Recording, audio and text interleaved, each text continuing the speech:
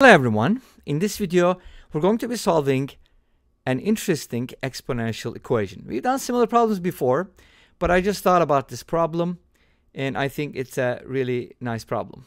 Not because I came up with it, but in general, these problems are kind of nice. Because when you look at a problem like this, you're probably thinking, if x is even, then I can get a positive answer from a negative base, right? But what you raise negative 3, 2 to get 27. Now, I'm thinking about 3 to the third power is 27, but my base is negative 3.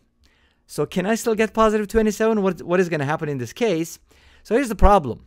You can find a number, right, hopefully, like a positive or even number like 4, and raise it negative 3 to the fourth power, but that's going to give you an 81.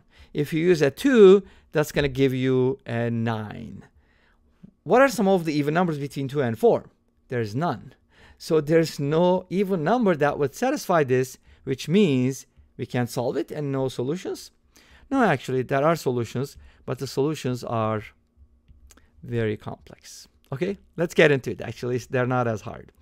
So to be able to solve this problem, I'm going to basically use complex numbers because I can't solve this problem in the real world. And some problems don't even have solutions in the complex world, right? You probably know them. Square root of some negative number equals some other number, whatever.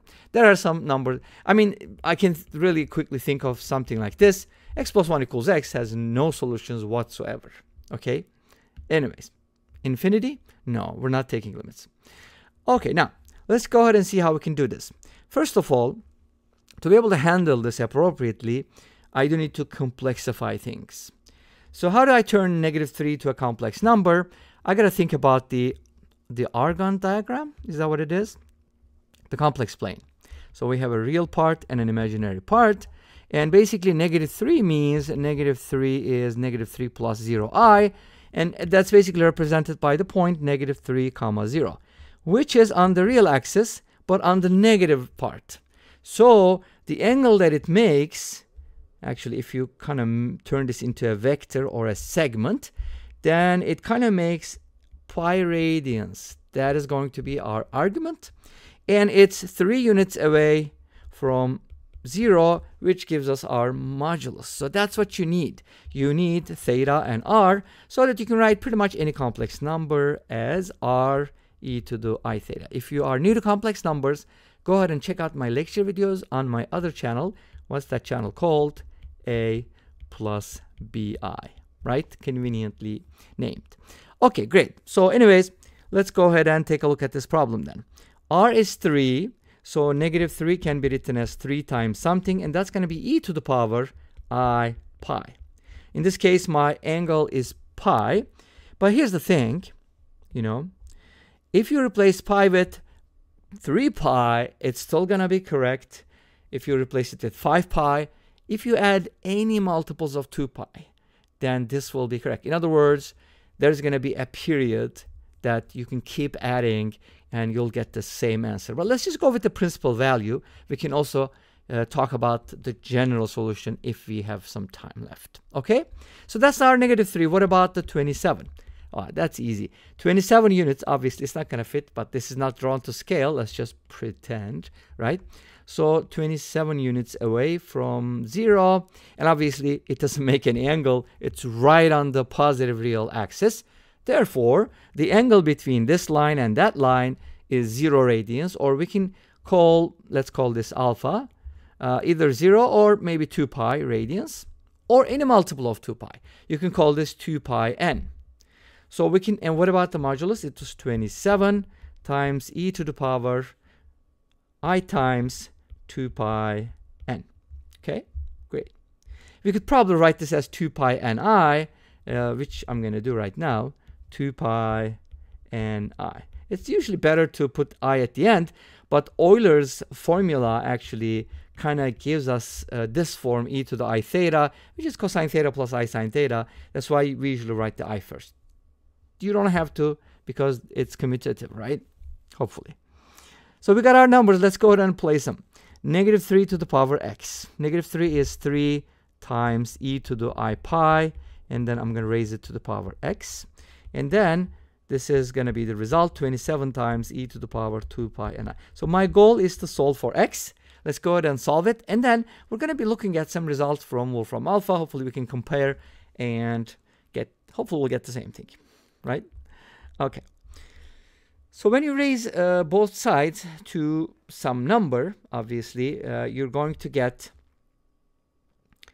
uh, an inequality but uh, we want to bring the power down. So why don't we just ln both sides? So the complex logarithm, we're going to log this side and log that side with the natural log. And that's to give us something nice. So we don't have to go into uh, 3 e to the power ln 3 stuff. Same thing. Now we have the ln of a product, but first we have to take care of powers, bring this to the front, x ln and then now, this is actually kind of like a product, and we are logging the product. So that's going to be the sum of two ln's. Can I write it as ln 3 plus ln e to the i pi? Yes. And on the right-hand side, we have the same scenario, ln 27 plus ln e to the power 2 pi ni. But wait a minute, ln e is 1, so when you move these to the front, you're going to get 1 times that those. So it's going to be x times ln 3 plus i pi equals ln 27 plus 2 pi and i. All right? Cool, cool. Now, what are we going to do? We're going to solve for x. So I think we should divide both sides by what? This expression. So let's do it. x equals ln 27 plus 2 pi ni divided by ln 3 plus pi i. You could also write i pi, but I wanted to keep the pi i at the end um, to make them kind of look alike. Anyways, so that would be the answer. But what is n? n is an integer. Did I forget to say that? N is element of z, Zahlen, right? German for number, I think. Anyway, so that will be the x value, but wait a minute. Take a look at this expression. If I didn't have the pi stuff, ln 27 over ln 3 would be ln 3 cubed or 3 ln 3 divided by ln 3 and that would give me a 3. But unfortunately, uh, 3 does not give me 27. This is not going to work. But we're kind of close. So the i needs to get in there. Well, n can be 0. Wait a minute. Can't we do that? Yes. n can be 0. Since n is an integer, let's go ahead and test it out. If n is 0, then x becomes ln 27 over ln 3 plus pi i. Uh-oh, we're just missing it by a little bit. Pi i is an extra piece, but uh, we can go ahead and, you know, multiply by the conjugate. Conjugates, conjugate. And then from here we should be getting something like ln 27 times ln 3 minus pi ln 27i and then divided by ln 3 squared plus pi squared. okay, are you happy with that? Well, the problem is this is going to have a real part like this. And then we're going to have an imaginary part. So we can kind of separate those if you wanted.